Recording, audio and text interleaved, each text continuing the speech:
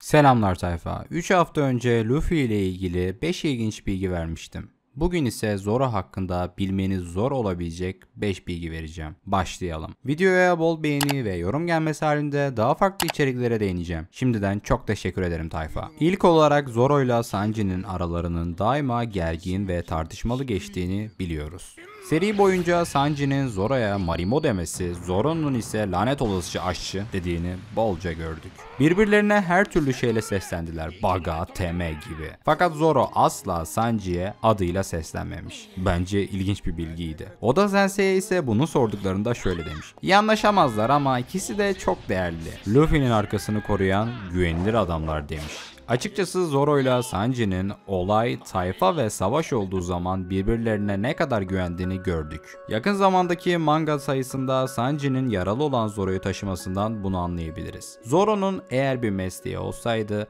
ne olurdu diye sorulmuş Oda Sensei'ye. Oda Sensei ise Zoro'nun alternatif bir evrende Japon polis memuru olabileceğini söylemiş. Adam zaten Luffy'den önce korsan avcısıydı. Lakabı da öyle. Gayet normal bence. Luffy'nin itfaiyeci olduğu olaydan sonra daha tutarlı gibi geliyor. Belki bunu çoğunuz biliyordur ama tekrar değineyim. Normalde Zoro ilk çizildiğinde Buggy'nin tayfasında olacakmış. Hatta Buggy'nin en büyük kardeşi olacakmış. Buggy'nin tayfasında geminin koruyucusu olarak çalışacakmış. Çok ilginç. Düşünsenize Luffy Buggy ile dövüşüyor. Zoro ise Buggy'lerin tarafında. Ve Zoro'nun seride çok da önemli bir rolü yok. Öyle geçinip gidiyor. One Piece mangasının 598. sayısında Zoro'nun yaralı olan gözü yanlış tarafa çizilmiş. Üstelik Luffy'nin karnındaki X işaretli yara da Zoro'ya verilmiş. İnanılmaz bir hata gerçekten. Sonrasında ise 61. ciltte bunu düzeltmişler. Normale çevirmişler. Abi editörler veya çizerler acaba seri bilmeden mi çiziyor? İlginç. Zoro'nun bazı tekniklerine baktığımızda sushi isimlerinden geldiğini görebiliriz. Nigiri, Toro, Otoro, Hirameki, Samon hatta Onigiri.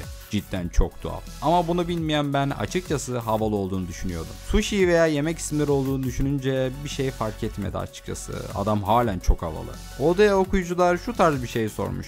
Zoro daha önce hiç sushi yemediği için mi sushi'ye bu kadar takmış ve tekniklerine bu isim vermiş? Oda Sensei ise mizah dolu bir sürü cümle kurmuş. Sonunda ise şöyle demiş. Zoro'nun hiç sushi yemediği anlamına mı geliyor bu olay? Söylemesi zor. Neyse şimdilik bu videonun sonuna geldik. Kendinize iyi bakın. Hoşçakalın tayfa.